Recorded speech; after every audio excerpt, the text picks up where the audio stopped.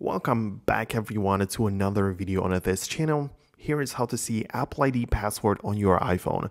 Now, uh, changing the password is pretty simple even without knowing the old one, but there is going to be like this security delay. So let me just begin by that. So when you just go to the uh, settings, tap on your name, then go to the uh, sign in and security and once it loads up, you should have the ability to change the password for this account. However, as I say, you're likely gonna be even sometimes even not. Sometimes you can just get it get to it right away. Sometimes you get through the security delay, so it depends.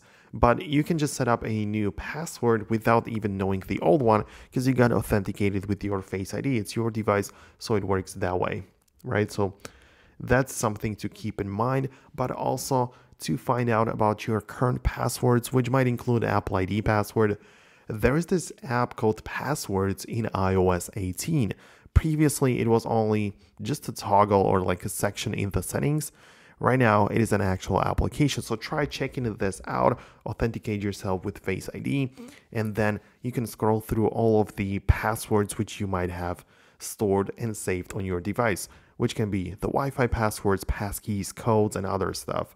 And it's quite likely, perhaps if you clicked on the save password for your Apple ID, that it's going to show up in here as well. But it depends on your behavior in case you don't or you never save passwords, then of course nothing is going to pop up in here.